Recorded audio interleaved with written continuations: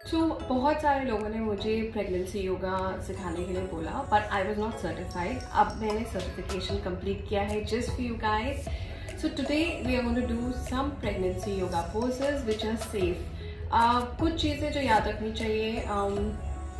they say you know you should not exercise without your physician's or gynecologist's especially in the first trimester. आप gentle practices कर सकते हैं, you know, meditation, pranayam basic very very basic stretches कुछ चीज़ें जो ध्यान रखनी है, पैरों को वाइड नहीं लेके जाना है बिकॉज़ इस ट्राइमेस्टर में सबसे ज़्यादा मिसकैरेजेस के चांसेस हैं। Second trimester is your safest trimester to do pregnancy poses